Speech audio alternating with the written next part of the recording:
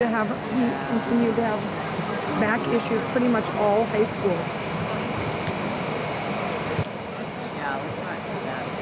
Know,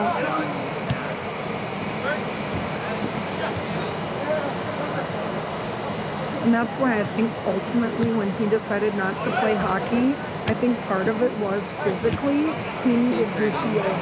He- needed to heal, and there was never any downtime for healing right. When you play. Have you ever looked back on that and regretted? He has loved this winter.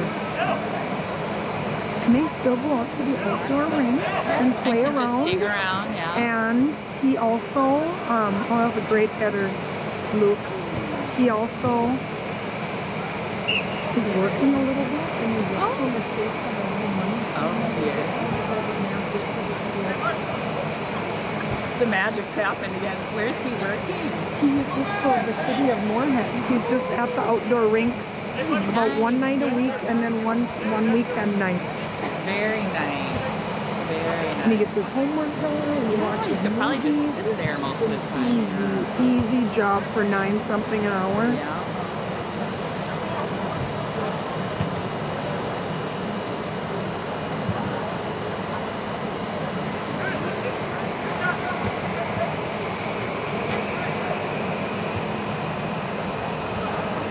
That was a nice ball.